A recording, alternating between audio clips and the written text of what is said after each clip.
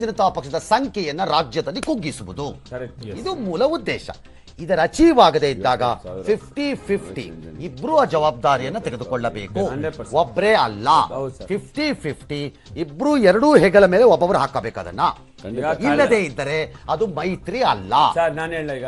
ಕಳೆದ ಲೋಕಸಭಾ ಚುನಾವಣೆಯಲ್ಲಿ ಕೂಡ ಟೂ ತೌಸಂಡ್ ಫೋರ್ಟೀನ್ ಅಲ್ಲಿ ಹದಿನೆಂಟು ಸ್ಥಾನಗಳನ್ನ ಭಾರತೀಯ ಜನತಾ ಪಕ್ಷ ಗೆದ್ಕೊಂಡಿದೆ.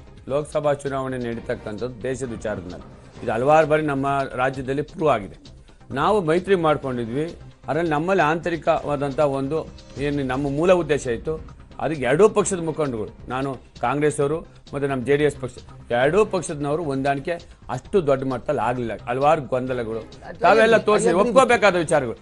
ಜನ ಈ ಏನು ಬರ್ತಾ ಇದೆ ಮೇಲ್ಗೆ ಬಂದಿಲ್ಲ. ರಿಸಲ್ಟ್ ಅದೇ ಅದಕ್ಕೆ ಇದು ಇನ್ನೂ ಎರಡು ಅವರ್ ಬೇಕಾಗುತ್ತದೆ.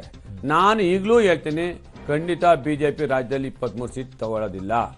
ಅದು ಏನ್ ಅಲ್ಲಿ ಬರ್ತಾ ಇದ್ರಿ ಅದು ಅದು ಏನು ಸಿಂಗಲ್ ಡಿಜಿಟ್ ಇಳಿಸ್ತೀವಿ ಅಂತ ನಾವು ಹೇಳಿದ್ರೆ ನಮ್ಗೆ ಇನ್ನೂ ಐದಾರು ಸೀಟಲ್ಲಿ ಖಂಡಿತ ಮೇಲ್ಗೈ ಆಗ್ತದೆ. ನಾವು ಕಾಂಗ್ರೆಸ್ ಅವ್ರ ಕಳೆದ ಬಾರಿ ಎಂಟು ಸೀಟ್ ತೊಗೊಂಡಿದ್ವಿ ನಾವು ಎರಡು ಸೀಟ್ ತಗೊಂಡಿದ್ವಿ.